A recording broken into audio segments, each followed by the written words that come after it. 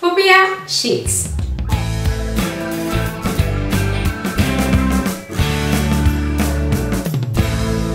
Or it can be uh, called as thin sheets which is being used to make spring rolls or even sometimes samosas will come out very well with these um, sheets. So let's look into how to do a very simplest and an easy method of doing this popiah sheets.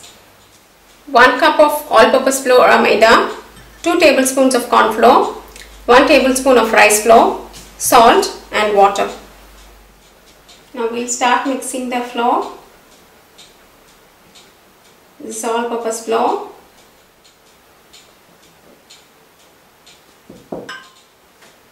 Corn flour, rice flour. Well, there might be a question like why we are adding rice flour. This rice flour is going to increase the crispiness of our uh, spring rolls and plus it's going to uh, balance and so that they don't uh, absorb much of oil when fried. Some salt. Now mix all the dry ingredients.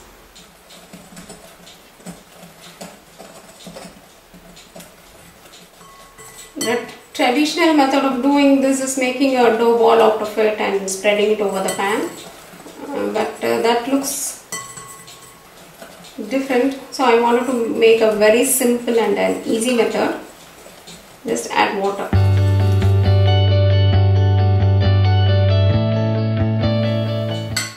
The texture should be of a free flowing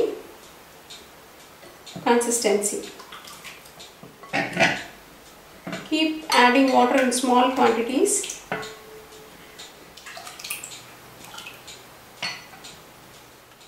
heat a nice non-stick pan in medium heat or it can be even in low heat because these should not get burnt. So we are going to use it between low and medium heat. Now for the first time pour some oil onto this oil. Take some water and spread it all over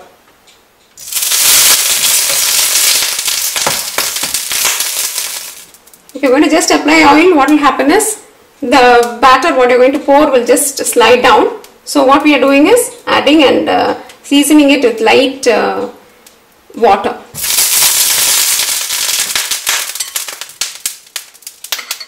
Remove the pan from fire. Have it in your hand like this and then pour the batter. Take one spoonful of batter. Remove the pan from fire. Let it not be on fire pour it and spread it around quickly. And fill in the uh, gaps.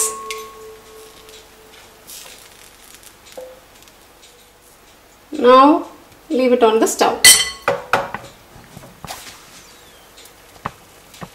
You can see the color is changing beautifully. It's coming from transparent to white wait until they leave the sides and then slowly remove them.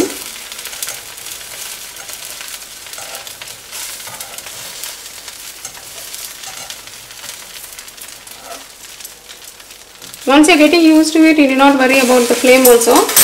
You can keep, keep it increase the flame slowly from medium. But you should keep watching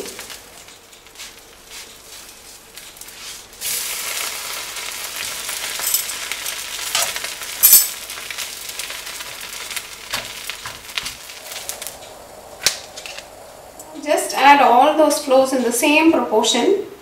This is one more method for those who feel like they are comfortable more comfortable with rolling. Pour just half spoon of oil. This is just the other method so I am not again showing right from the scratch like all the ingredients together everything. Same ingredients mix it in a bowl and make it to a chapati dough with less water take a small portion. This is for those who are convenient with the rolling pin. Take it into a thin sheet. And now we are going to leave it into the microwave for just 10 seconds.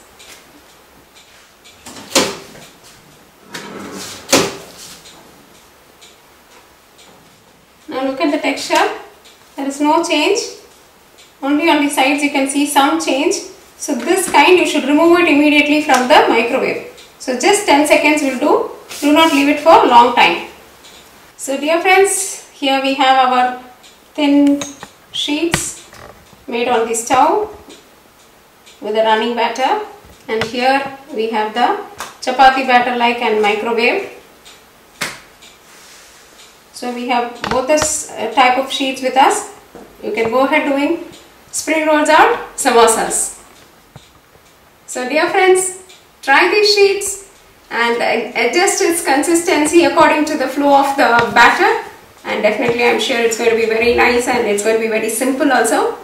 So, Dosa to Pizza, uh, always enhancing your taste buds. Thank you and bye bye.